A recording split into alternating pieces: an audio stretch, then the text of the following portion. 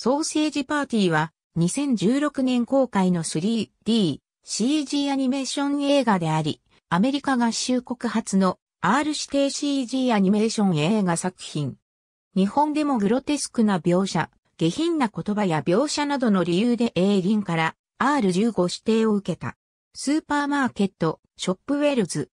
商品たちは自動ドアの外の世界には夢の楽園があると信じ、客に購入されることを望んでいた。スーパーの店員は自分たちを廃棄処分するため、恐ろしい存在だった。ソーセージのフランクは1日でも早くホットドッグ専用パンのブレンダに挟まって一つになることを望んでいた。今日は独立記念日セールが行われているため、外に出られる確率が高かった。ハニーマスタードが返品のため、自動ドアの外の世界から出戻ってきた。ハニーマスタードは、外の世界に怯えていた。フランクとブレンダは人間に捕まり、カートの中に入れられる。その中に出戻ってきたハニーマスタードも入れられる。ハニーマスタードは外の世界に出るのを嫌がり、カートの外へと身を投げた。フランクとブレンダは袋から飛び出して助けに向かうが別のカートとぶつかった衝撃で落下してしまう。ハニーマスタードは地面にぶつかり粉々になった。フランクとブレンダの他にもカートから落下した商品たちがいた。半分ほどなくなり、父洗浄機のビデオ床は掃除されてゴミに捨てられた。そんな中、二人はベーグルのサミー・ベーグルジュニアと中東のパンのカリーム、アブドゥル・ラバッシュに出会う。ビデオ床はフランクとブレンダのせいで外の世界に行けなくなったと恨みを募らせ、復讐に燃えた。その頃、フランクたちは食品棚に戻るためにスーパーの中を歩いていた。途中で酒売り場を通るとアルコール飲料たちが箱から飛び出して騒いでいた。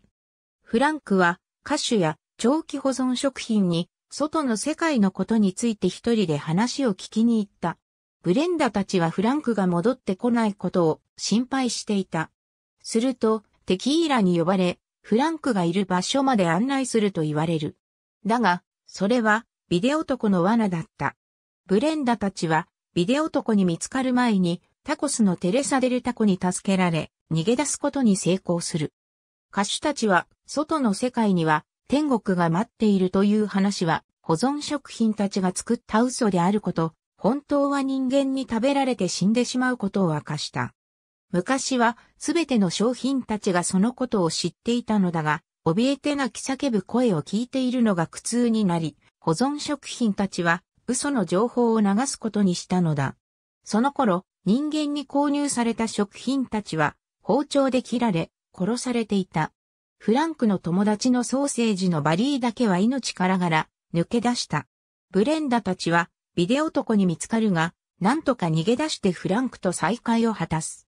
フランクは外の世界の真実について話すが、ブレンダは信じようとはしなかった。二人は喧嘩別れしてしまう。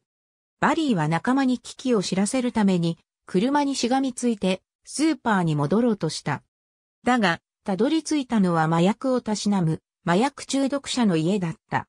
麻薬中毒者は麻薬を使ってハイになり、バリーや他の商品たちの言葉がわかるようになった。麻薬中毒者は怯えて叫び声を上げた。バリーは麻薬中毒者を脅し、スーパーまで連れて行ってもらうことにした。しかし、麻薬中毒者が眠ってしまい、起きた時には薬の効果が切れて喋れなくなっていた。ブレンダたちは自分がいた商品の棚にそれぞれ戻っていった。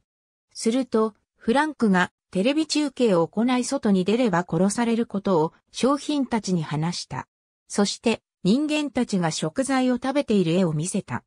フランクは逃げようと声をかけるが弱虫と罵ってしまったために商品たちの反感を買ってしまう。ブレンダがカートの中に入れられてしまう。